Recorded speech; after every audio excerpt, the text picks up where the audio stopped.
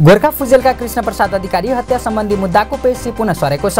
यसअघि पनि पटक पटक सर्दै आएको पेशी पुनः मक्सिर पच्चिस गतेको लागि सारेको हो। हालसम्म उक्त मुद्दाको पेशी पन्ध्रौँ पटक सरेको छ। पछिल्लो पटक कार्तिक बाह्र गतेका लागि पेशी तोकिएको थियो। यसअघि असोज एक गतेका लागि तोकिएको पेशी कार्तिक बाह्र गतेलाई सारिएको थियो। पश्चिम चितवनको मेगौरीबाट उद्धार गरिएको एउटा गैँडाको बच्चाको मृत्यु भएको छ। बाघको आक्रमणमा परि गम्भीर घाइते अवस्थामा उद्धार गरिएको अन्दाजी दुई वर्षको गैँडाको बच्चा गए राति मरेको चितवन राष्ट्रिय निकुञ्जका प्रमुख संरक्षण अधिकृत रामचन्द्र कणेलले जानकारी दिए।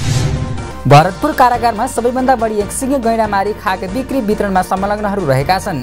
दुई चार हजारको लोभले यस्तो कार्यमा संलग्न अहिले पन्ध्र वर्ष जेल बिताउनु पर्दा जीवन त बर्बाद भयो। नै यी परिवारको समेत बिल्ली भएपछि पछुताउन बाध्य छन्। भरतपुर कारागारमा मात्रै यो सङ्ख्या एक सय चौबिस पुगेको छ। जसमध्ये यो सङ्ख्यामा अल्पसङ्ख्यक सेपाङ समुदायका व्यक्तिहरू रहेका छन्।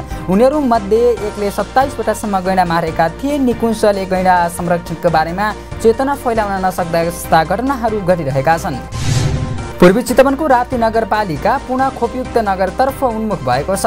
नगरपालिकाका तेह्र मध्ये नौवटा वडा पुनः खोपयुक्त भइसकेका छन्। एकदेखि नौ नम्बर वडाका बालबालिकालाई पूर्ण रूपमा खोप लगाइसकिएको छ। अब चारवटा वडा मात्रै बाँकी रहेका छन्। बाँकी वडालाई पनि आगामी मक्सिर महिनाभित्र पुनः खोपयुक्त घोषणा गर्ने तयारी भइरहेको राप्ती नगरपालिकाको स्वास्थ्य इकाइ संयोजक राजेन्द्र प्रसाद परासुरीले जानकारी दिए। यसअघि चितवनको खैरहानी र माली नगरपालिका पुनः खोपयुक्त नगर घोषणा गरिसकिएको छ।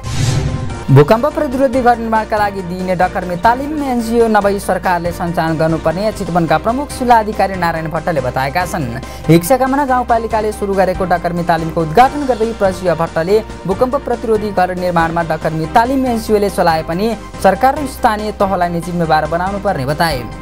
प्रसिय भट्टले भूकम्प प्रतिरोधी घर निर्माणको लागि तालिम नलिएका डकर्मीहरूले बनाएको घरको स्वर्ग निकाल्ने भन्दै भूकम्प प्रतिरोधात्मक घर निर्माणका लागि तालिम आवश्यक रहेको उल्याए